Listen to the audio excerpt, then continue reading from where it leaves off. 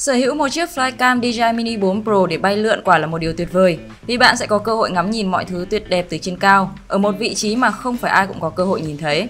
Hãy cùng chia sẻ những khoảnh khắc đẹp đó bằng phương thức tối ưu và nhanh chóng nhất với tính năng truyền file Quick Transfer được trang bị trên DJI Mini 4 Pro nhé.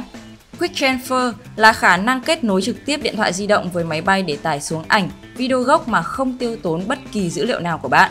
Nhưng tính năng này hiện chỉ áp dụng với một số dòng flycam mới ví dụ như DJI Mini 4 Pro, DJI E3, DJI Mavic 3 Pro, DJI Mavic 3, DJI Mini 3 Pro, DJI Mini 3 và DJI Mini 2.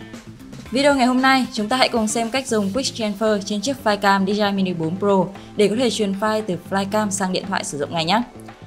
Để dùng được tính năng này, hãy tải ứng dụng DJI Fly trên điện thoại của bạn và bật hết Wi-Fi và Bluetooth lên nha. Ứng dụng này hỗ trợ cho cả iOS và Android. Nếu các bạn chưa biết cách tải, hãy comment ở bên dưới và mình sẽ gửi ngay video hướng dẫn nhé. Đầu tiên, bạn hãy mở ứng dụng DJI Fly. Sau đó, tháo nắp bảo vệ và mở các cánh của Flycam lên. Sau đó bật Flycam. Lúc này trên màn hình điện thoại sẽ báo chuyển sang chế độ Quick Transfer để truyền dữ liệu. Các bạn hãy nhấn Switch, sau đó đợi một chút để kết nối nhé. Ở lần kết nối đầu tiên, bạn hãy bấm giữ nút nguồn ở trên Flycam để có thể kết nối. Tiếp tục nhấn Join.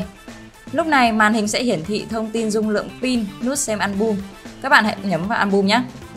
Chỉ đơn giản vậy thôi là chúng ta đã có thể xem được các ảnh, video mà mình ghi được trên chiếc Flycam này. Nếu như bạn muốn tải video về, hãy nhấn vào ký hiệu tải xuống ở bên góc dưới để tải ngay về di động và sử dụng, đăng tải lên mạng xã hội nhé. Và nếu như bạn muốn tải hàng loạt nhiều ảnh và video, các bạn hãy bấm vào ô vuông có dấu tích, chọn những file mình cần và ấn tải xuống. Nó rất nhanh và đơn giản phải không nào? Và chỉ vậy thôi, chúng ta đã có thể lấy được những cái video nóng hổi vừa quay và gửi ngay cho bạn bè hoặc khách hàng của mình rồi.